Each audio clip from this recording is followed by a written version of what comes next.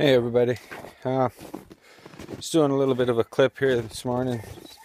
I've been uh, trapping, just using my my truck here while I was doing a little bit of stuff, and I was having a little bit of a rough time. This here's the old boy, blew the cylinders on it last year, the old Enticer.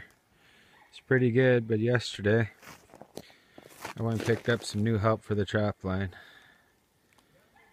and uh, went for a test cruise on it last night out to the Wolf Bait Station, and it seemed to it seemed to handle really well. Um, got the two up seats, so I'll be taking my son with me a little bit more when he's not in school.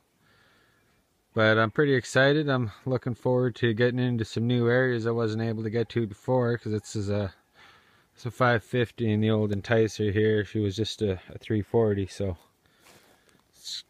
it's a new model. It's a 2018 model, so hopefully we can't get a little bit further, stretch that line a little bit farther, and uh, start producing some good stuff. I'm gonna go out tomorrow with the sun and go. Uh, the wolves were back in the bait station. They were, they were actually in there.